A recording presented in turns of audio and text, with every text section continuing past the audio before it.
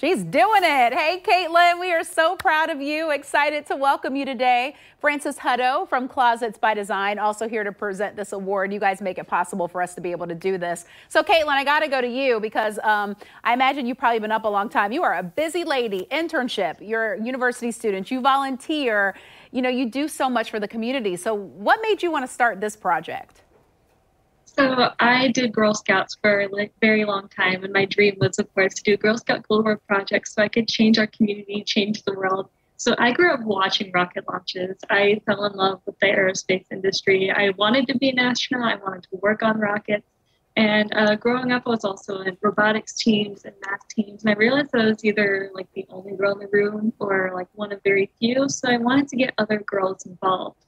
So I decided to share my passion, and that's what I did for my Girl Scout Gold Award project. I love it. You know, so inspiring for women who often don't hear that message that they can do it. And I do think things are are changing though because of young ladies like you. So Frances, I want to bring you in. You know, we get a, a lot of submissions for PosJax winners. You all sit around a table, you make the decision on who should win it. So what was it about Kaitlyn's story that stood out?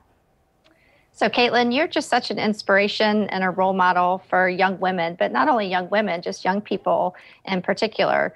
You need to um, keep doing what you're doing and inspiring. And I have something for you that's a little bit different. Ooh. I would love to invite you to come to Jacksonville next month. Uh, Major General Charles Bolden, the 12th administrator of NASA, is coming to speak, and I would love for you to be my ah. guest at that event and, and get to see him.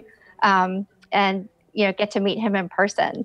Um, but and I'd also like to give you five hundred dollars towards your um, Astrobot STEM uh, program. I just think you're so amazing, and keep doing what you're doing. You're going to go very very far. Oh, Kaitlyn, that was a surprise for all of us. What do you think about that? That's so exciting. Thank you so much. Oh, you're very welcome. Very deserving. I can't wait to meet you in person. Oh. I, I love it. Two very inspiring women. Uh, make sure you get some pictures and send those back because we'd love to share um, when you all have that meeting.